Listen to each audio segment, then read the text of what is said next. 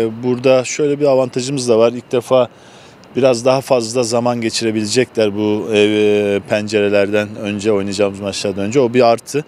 E, Ben inanıyorum ki kızlarımız, kadınlarımız Avrupa Şampiyonası'na gitmeye hak kazandı.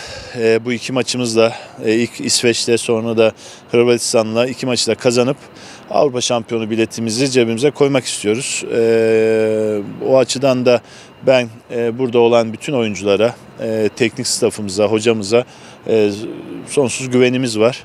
E, karakterlerini sahaya koyacaklardır. E, ve bu iki maçı da kazanarak kazası belası Avrupa Şampiyonası biletimizi cebimize koyalım. Ondan sonra da yazın e, olimpiyat ele- elemelerimiz var inşallah. O zaman belki daha tam takım olacağız.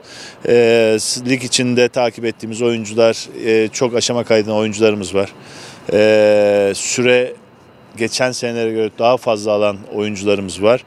Ben inanıyorum ki çok e, bu zamanda biraz daha fazla gün birlikte olacağımız için e, en iyi şekilde sahaya çıkacaklar ve ellerinden geleni de yapıp e, Türkiye'yi de kadınlarımız gibi sevince boğacaklardır.